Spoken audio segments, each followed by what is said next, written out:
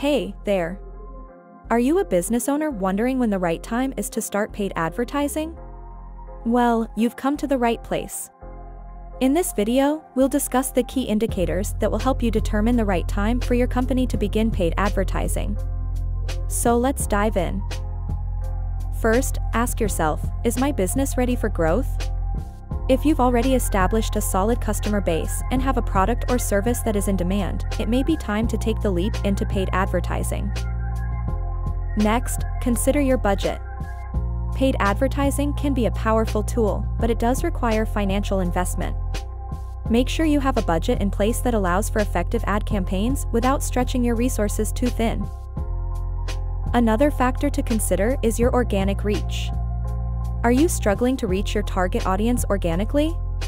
If so, paid advertising can help you overcome this obstacle and reach a wider audience more efficiently.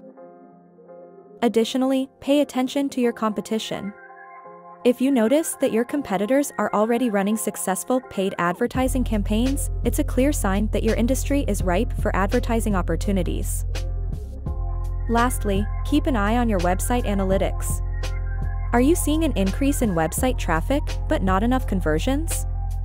This could be an indication that it's time to amplify your marketing efforts through paid advertising.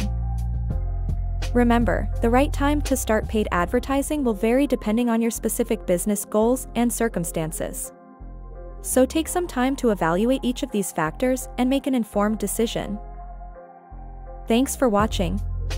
If you found this video helpful, make sure to subscribe to our channel for more valuable content. Good luck with your advertising journey.